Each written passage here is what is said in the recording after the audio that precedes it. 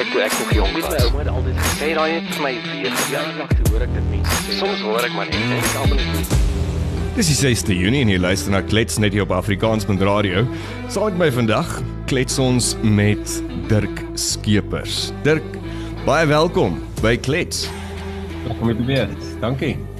Dirk, ons praat nou al 'n hele geruime tyd en ehm um, jy's een van die pioniers van podcasting in Suid-Afrika. Een van daai eerste siele wat besef het hierdie is 'n nuwe medium en 'n nuwe media en en dit het moontlik baie potensiaal. En die Dirk Skeepers program is nou onlangs ook ehm um, beskikbaar van vandag af actually op Afrikaans met radio. En jy het dit begin so in 1999 as ek reg is. Wat was jou beweegrede om die DS program te begin? En jy het dit gelabel om te sê dat alles wat wat saak maak vir Afrikaners. Maar meer 'n persoonlike reis gewees, 'n persoonlike milieu. Ek het gehoor baie mense spandeer te lank tyd in die buiteland en dan begin hulle hulle Afrikaans sommer heeltemal verloor wat ek dink 'n skreiende skande is. Ja. Ek wou nie gehad het dit met my gebeur nie. Uh ek het daai middel 20s, kom ons nou nou as jy in jou 20er jare probeer jy uitfigure wie en wat jy regtig is en jouself net elke dag meer leer ken maar is binne konteks. Jy kan nie die geskiedenis vergeet nie. Dit is goed ek nou ons het op 'n stadium waar vir my ouma 'n uh, familie stamboom, toe sien ek al hierdie Afrikaner name en is generasies wat ons in Afrika spandeer het. Ek kon dit nie ignoreer nie. Ten spyte van die feit dat ek nou in die buiteland gesit het. En ek dink toe goed dat ek gaan lees en wie is hierdie Afrikaners? Wie, wie ek het al gehoor van dit en dan sal boere en die mense wat my toesnou aanlyn dat daar 'n verskil is. Wat is hierso? Wat wat gaan aan? Ehm um, in steede van om net dood eenvoudig te gaan lees, te gaan luister, te gaan met mense praat, het ek gesê luister wat ek het 'n gesig vir radio, so ek gaan nie regtig video's doen of TikToks en al daai tipe van goed nie, ek is bietjie ouer, maar kom ons um, kom ons doen die audio. Ek ek het begin regtig verlief raak op die die formaat, die medium, podsendings, podcast, potgoeie en ek het uh, dit in my ore geprop elke keer as ek oefen of ek in New York in die subway is en uh, ek treinry of ek net net bietjie verder ry gewoonlik uh, dit vat 'n ekstra stapie om steeds net van radio te luister en prop jy nou jou foon in en jy gaan dan in jou podcast in maar dit is eintlik die mooi ding daarvan as jy kan kies en curate wat jy nou wil luister. Mm. Mm. In elk geval om die lang storie langer te maak dit het uiteindelik gekom by ek wat 'n paar episode lanseer ek wou oor die formaat het ek getop moet ek net 'n soos 'n ondersoek doen van Afrikaners nadat ek nou Herman Gilomee se boek gelees het die Afrikaners maar dan ook verskeidenheid ander goed gelees het oor wie hierdie mense is net net die feit dat ek gebore is waar ek is en in in geskiedenis is soos dit is. Uh en dan moet ek ook bietjie vooruit kyk en kyk wat is die toekoms gaan hierdie mense nog bestaan? En ek het toe gespeel met 'n klomp formate. Dit was eers net ek wat geskryf het oor meestal met die tema van Afrikaners maar wat met ons gebeur in steede van die groter milieu die wêreldwye politiek Suid-Afrika wat ook 'n mengelmoes van 'n klomp kulture is en ek het toe ook dit my geleentheid gegee om met verskriklike interessante mense te hmm. praat hmm. maar meestal net om vir myself my identiteit verder te te ontdek my Afrikaans op so 'n punt te hou waar ek dit kan ten minste praat. Uh geen om as ek in Amerika of waar ook al woon vir dekades plus nie. En dan uiteindelik net as een van die beste stokperdjies wat ek ooit gevind het om te doen. Dit is lekker, nee. Want partykeer praat jy 'n bietjie met jouself, partykeer praat jy met ander mense en dan meeste van die tyd leer jy in die hele proses ietsie van jouself en ietsie van ander mense. Maar jy praat nou baie van van New York en, en miskien moet ons net gou eers 'n bietjie konteks gee. So jy is gebore en getoe in Pretoria en toe ewe skielik is jy in Amerika. Jy swat daar verder en jy het verlang gewerk in Wall Street. En in daai tyd wanneer jy in in Amerika was, Hoe het jy gekyk na Afrikaans toe teenoor toe jy in Pretoria gebly het en elke dag Afrikaans gehoor het? Hoewel met die Engelse en die taal affære is dit dit gee vir jou net so 'n ander invalshoek op werklik hoe klein en nietig dit eintlik is, maar ook hoe waardevol en hoe goed dit is om die Afrikaans en Afrikaner kultuur te koester. Mm. Dit is wat New York vir my geleer het. Want dit is ook mengelmoes van van mense in die, in die in die liggies en 'n baie pret plek as jy in jou 20 is. Nou as ek daar in New York, ek is in die middel van Manhattan, soos jy sê ek het in die Upper East Side gewoon en moes elke keer die, die treine afvat uh, Wall Street wat is die suidpunt van die van die hmm. eiland.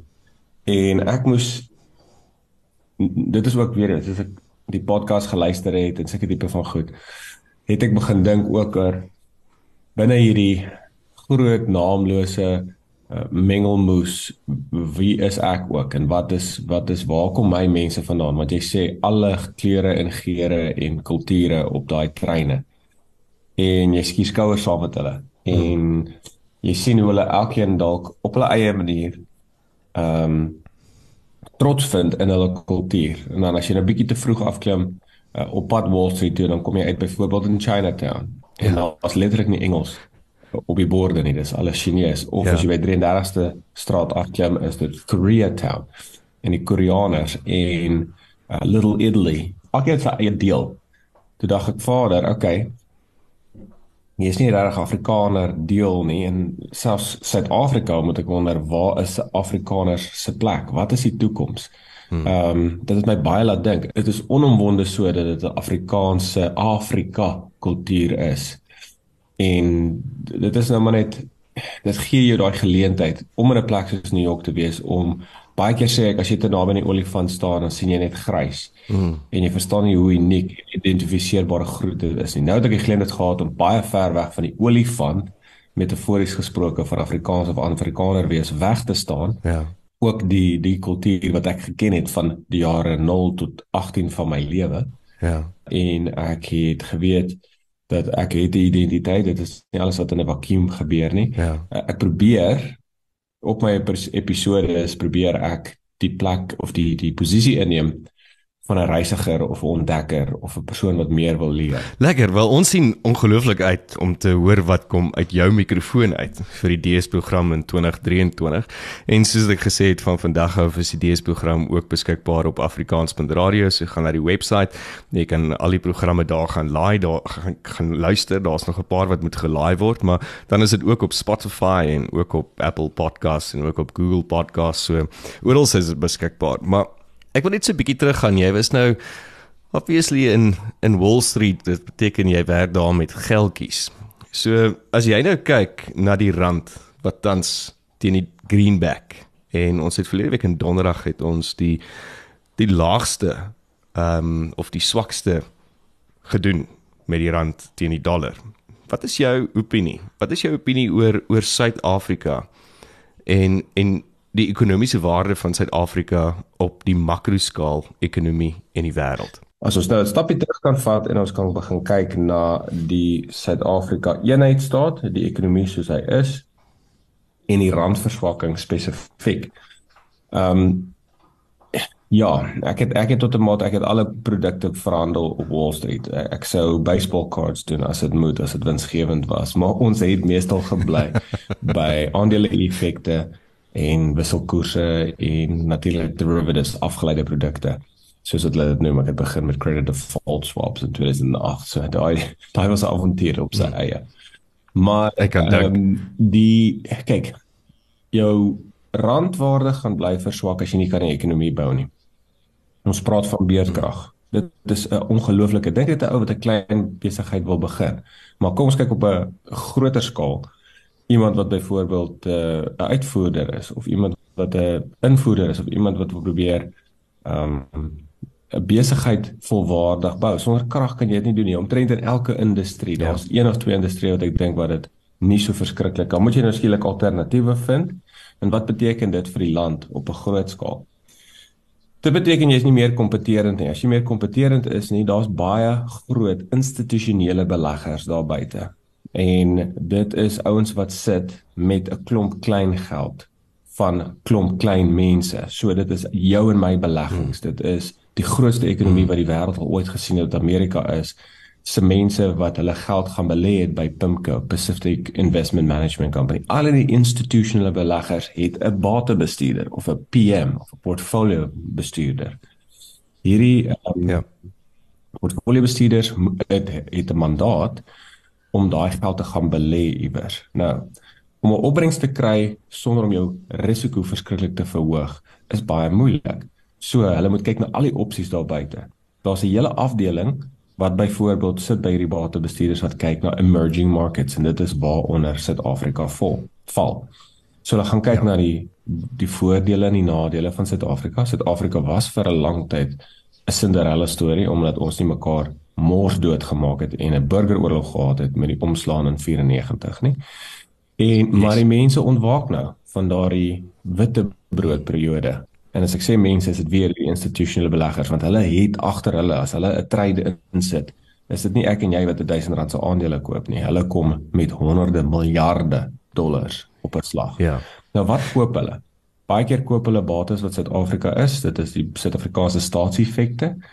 Uh want die Suid-Afrikaanse staatseffekte byvoorbeeld gee vir jou dalk 10%.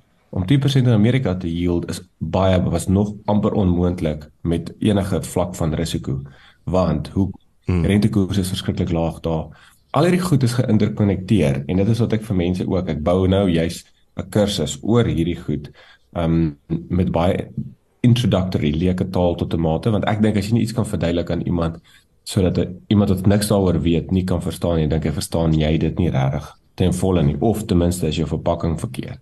Maar hierdie ja. batebeleggers kyk nou na Suid-Afrika en dink hulle, "Vaderland, okay, hierdie ons wil in 'n ekonomie belê wat groei. Groei is absoluut een van die grootste goed. Is ons belegging veilig? Wat kan die mense hmm. doen? Daar is soveel ehm um, vasgehoude. Kom ons noem dit nou maar verskoon tog dit is winter en jou verkoue kom in, maar daar is soveel geleenthede in Suid-Afrika, maar wat strem dit? Wat kniehalter dit? As jy nie krag het nie, dood eenvoudig, dit is 'n skreiende skande. Ek dink mense het al in Suid-Afrika baie gewoond geword aan iets wat ja. gewoond geword moet aanword nie. Mense moet deksels kwaad raak of jy nou Afrikaner is of nie, maak exactly. nie saak nie. En dan ander goed ook. Uh as jy goed probeer sentraliseer, daar en alles gebeur onder 'n filosofie van die beheerende party en die mense wat vir hulle bly stem ten spyte van wat gebeur. Dat ek dink daar verskriklik alternatiewe is nie en sonder om te polities te raak, maar jy kan dit nie ignoreer nie. Dan sê die batebestuurders, hmm. luister, ek gaan nou nie hierdie land Suid-Afrika se se effekte koop nie. Dit al gee hulle vir my 12%, 13% die risiko is dood eenvoudig net. Ja, die risiko is so. Ja, so. So so dink jy ons het ons charme verloor? Suid-Afrika het het hulle soos wat jy sê die honeymoon. Ja. Die charme is weg. Kyk Mandela se se hy was he's been elevated to sainthood natuurlik, né? Nee? So hy is nou, ja. hy hy het net in sy krag van persoonlikheid ehm um, of hy nou 'n ongelooflike politikus was en al goed kan ons debatteer tot ons blou word daai era, selfs dit 'n bietjie era, Zuma toe kom die wiele mooi af want toe kom hulle agter goed. Suid-Afrika se grense is getrek sonder 'n agneming van die feit dat daar Zulus, Xhosas, Vendas al die goed saamgegooi is tot 'n mate en nou probeer laat werk. So toe kom hulle toe kry hulle die eerste keer kom hulle agter hierso is 'n kulturele want Zuma is 'n Zulu en ek dink dit maak 'n massiewe verskil veral as jy kyk na die Ngonyama Trust en die Zulu uh, faksie wat yes. eintlik die grootste kultuurgroep binne die landsgrense grense is. En toe kom Ramaphosa en almal dink vader, hierdie persoon is baie meer welbesproke. Ek dink hy kan beter tel dalk as Zuma as mens nou 'n bietjie tong in die kies kan wees. en hulle dink vader, okay, hy's 'n besigheidsman in en hy's 'n miljardêr op sy eie of dit op sy eie is of dit sy skoot geval is, kan ons nou weer oor en oor debatteer en ek moedig mense aan om daarso te gaan kommentaar lewer en te, te praat met die DS program en, en asook Afrikaans by radio lig jou mening. Ehm um, die hele die hele ding is daai charme is besig om absoluut af is dit nie al klaar afgewentel is nie want daai portfolio managers is ook nie ja. ape nie. Hulle sit daarso, hulle is van die beste van wat in wat hulle doen. En skielik gaan hulle nie sê luister ek wil nie effekte van Suid-Afrika koop nie. So ek gaan nie hoef want jy kan die effekte net in rande koop. So natuurlik moet jy jou dollars vat, hmm. dit omslaan, rande gaan koop, dan die effekte koop. Maar as jy nou dit nie meer doen nie, die omgekeerde gebeur, jy verkoop nou daai effekte en jy kry dollars terug, dan is dit vraag en aanbod. En daar is wanneer die, hmm. die groot skuwe, baie keer die groot skuwe in die buitelandse valuta, die koers van die rand gebeur. So charme is besig om af te af te wendel. Ehm um, mense kom agter dat dit nie noodwendig maanskyn en rose is nie. Wie dit nog dink moet regtig naïef wees. Maar uh dit is ook 'n geval van uh you, you get the leaders you deserve uh, die die saak ja, is as jy ja, jy kry die president of die regering ja. wat jy kies. Wat wat wat in jou opinie sal gebeur as is kyk daar's baie sprake van moontlike sanksies teen Suid-Afrika hmm. as gevolg van die manier hoe hoe Suid-Afrika onpartydig is met Rusland en en Oekraïne, maar wel ook baie partydig is. Ek dink dit is ook baie duidelik. So wat sal die effek wees op die Suid-Afrikaanse ekonomie en weer eens die stand van Suid-Afrika as daar 'n sanksie teen uh, Amerika of van Amerika af inkom teen Suid-Afrika? Dit sal absoluut 'n ongelooflike skade wees. Ek weet dat ehm um, AGOA wat is een van die handelsooreenkomste met uh, Suid-Afrika yes. en en Amerika is van kardinale belang, maar ek is ek is 'n persoon wat nie verskriklik wil vasval in emosies en die BRICS teen die res van die wêreld en die weste teen die ooste en daai tipe van goed. Kom ons kyk na die data, hmm. die feite. Die data is dat dit een van die grootste handelsvennote is van Suid-Afrika. As jy handelsvennoot vervreem, dan kry jy jou jou valuta swaar, jou ekonomie swaar. Um, ek sal sê dat hulle bande van vriendskap. Amerika is nie noodwendig en ek is nou 'n volwaardige Amerikaner en ek dink ek kan dit sê van binne die beast soos wat mense sê spreekwoordelik. Is nie om geen rede is is is hierdie engeltjies nie. Ehm um, ek dink die die die die NAFU expansion het regtig 'n probleem geword, maar om terug te kom, daardie partydigheid, die eerste of die enigste politikus wat regtig eerlik was oor die ding, dink ek Mandela het dit gesê of selfs bietjie ook. Uh en ek is ek is 'n ou vir regheid praat. So sê vir ons soos die politikuste wat in Suid-Afrika sê dis nou ons tyd om te eet dan verstaan jy skielik meer. Hmm. dat dit gaan nie oor die land bestuur nie. Dit gaan nie oor ja. hulle hulle wil net eet. Hulle wil hulle kos en geld kry ja. en in hulle familie en hulle hulle tribe of wat ook al hulle onmiddellik is. Maar ehm um, die eerlike politikus het gesê luister ons was onderdruk en ek weet Mandela self het opleiding gaan kry is agter die eystergordyn ehm um, dit is nog ja. steeds ja En mense vergeet dit. Hulle sê ja, dis die ANC, dis die ANC, maar die ANC regeer in 'n drie-part drie-party alliansie. Dis die ANC, dis die Suid-Afrikaanse Kommunistiese Party en die Congress of South African Trade Unions. So ehm um, en mense moet dit nie vergeet nie. So wat is natuurlik Rusland se invalshoek gewees destyds? Wat is die Marx en en en daai Marxisme en wat is wat is die onderliggende punt? Hoekom het hulle so ehm um, kanting vir in steede van teen Rusland in hierdie oorlog wat nou eintlik ons oor baie kan praat. Maar dit is omdat daai geskiedenis, daar's weer eens dis nie goed gebeur nie in 'n vakuum nie. Die konteks is hulle sien baie van die ANC geleedere in Zuma, ag en en en Ramaphosa en sy trawante het opleiding gekry en ondersteuning gekry toe uh onder apartheid toe hulle onder druk was verskriklik ja. en nou sê hulle luister Ehm um, ons gaan nie nou die mense wat ons ondersteun het in die rug steek omdat hulle teen Amerika is nie, maar die die feit van die saak is natuurlik Amerika se sanksies en Amerika se geld en argumente onthaalwe is apartheid ont ontbreek en dismantle in Washington DC. So hulle is lief om dit te ignoreer. Dit is dit is 'n hele dis 'n gemors van van omwentelings en en onderliggende temas, maar ehm um, ek dink 'n sanksie, ek dink 'n amptelike uh uitval van AGOA ehm um, kan nog hierdie ekonomie verder en verder en verder knou. Wat wat hartseer ding sal wees want die mense wat regtig die swaarste kry is in hierdie winter as jy gaan ry en jy sien diep sloot en jy sien die armstes van die armstes dis die mense wat gewoonlik die die ou op die neus kry. Eerste want die mense klein besighede begin sny skielik hierdie ou nie meer sy werk nie. Ja. dit uh, en dit dan sidder ek om te dink aan anargie of ontploffing of sulke tipe van goed. Maar ons wil nie uh, ek wil nie verskriklike doomsday goed doen nie, maar mense kan sien hoe dit binne die konteks kan gebeur natuurlik. Die die ding is ons moet realisties wees en nou wat jy praat van van met Rusland, daar's die die Engelse saying wat sê there's no no such thing as a free lunch. En en dit is nou presies dit. Rusland is nou besig dink ek persoonlik om aanspraak te maak op daai free lunches wat hulle gegee het deur die tyd. Om te sê onthou jy, onthou jy al daai lunches wat ek vir jou gegee het. Nou is dit my beurt. Ja. Ja, ja, mens kry daai gevoel ook en ek weet soos ek sê, ehm um, dis my baie keer verfrissend as mens 'n politikus op die TV of die radio hooplik eendag op podcasts kan kry om net eerlik te wees. En jy vra van luister, ja. hoekom is dit so? Hoekom is julle so? Waar, waar kom hierdie gesteelery vandaan? En nie dat ek dit goed praat. Ek dink ek is jy sal absoluut baie baie dom wees om te dink dat daar nie gesteel was onder die nasionale party nie. Uh, nee, verseker nie. Tomate, maar net miskien was groot deur gekom en hulle toe uiteindelik van dit gebruik by 20%. Nou is dit bietjie omgekeerd want as daar te veel ge geëet word by die trog van die politiek vark trog, dan skielik kom net 10% deur en skielik is die paaie vol gate en hulle kan nie krag voorsien nie hmm. en die polisie al die goed verval soos maatskaplike verval gebeur as daar daai fondse net wegraak. Ek kyk wat gebeur het in die Vrystaat en Noordwes. En uh, miskien kan ons dan 'n bietjie gesprek net pivot na die Weskaap. Maak nou tyd spandeer. Hmm. En mense sukkel nog om 'n slaggat te vind. Uh, ek het baie ontnugtering. Die Weskaap het ook moenie fout maak hier sy eie probleme. Ehm um, maar daar dit dit gee mense tog steeds daai bietjie gevoel van dit word nie alles gesteel nie. Daar daar's nog 'n kans dat van dit deurfilter.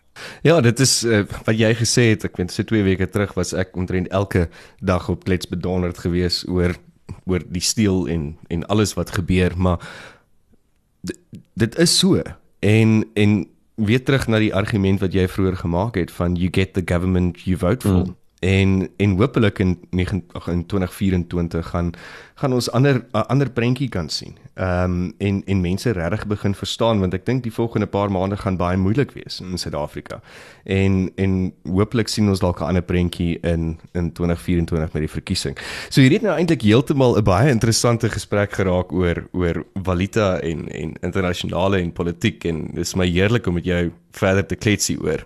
Maar ons tyd is amper besig om uit te hardloop. So Dirk, net vinnig, wat kan ons nog verder na uitsien vir die DS program in 2023? Matthys, ek sal graag ehm um, nog baie meer skouer aan die wiel wil sit om ten minste die episode is baie meer gereeld eh, te kan inklok en met my luisteraars daar is baie van hulle wat wêreldwyd al uitgelei ek het net gevra het waar is die volgende episode is my beplanning en my invalshoek nou hierso kom ons sê ja is in die derde kwartaal tweede kwartaal al die helfte van die jaar is daarmee heen maar ek wil graag die res van die jaar fokus op hierdie nuwe ehm um, nie nuwe nie, dit is seker nou al jare wat dit aangaan. Maar hierdie tendens van mense wat van die noord na die suid toe trek, Afrikaners spesifiek, want dit is waar die program gaan. Ek dink ons is die enigste semigrasie. Ja, so die semigrasie en ek weet nou van emigrasie. Ek is self deel van daardie statistiek, kom ons noem dit nou, een van die honderde duisende families. Elke familie wat ek van weet, weet ten minste van iemand wat Australië, Nieu-Seeland, Amerika, Kanada ja so van is. So ek dink daai ding is nie heel holriger nie. Ek dink ons moet baie data om in te vorder. Maar die feit dat ek in Amerika in Suid-Afrika is meer gereeld, dat ek nou self kon tyd spandeer het hier in die Weskaap, dat ek skouers keer met die mense in George en die tuinroete en en al hierdie plekke en hulle praat van die mense van die Kaap wat hulle inkommers noem en maar dan is daar soveel Pretoriaaners dat skielik is Kalitsdorp vol Pretoriaaners. Ehm um, wat is ek praat hulle daar nog steeds van van ma en pa? Presies.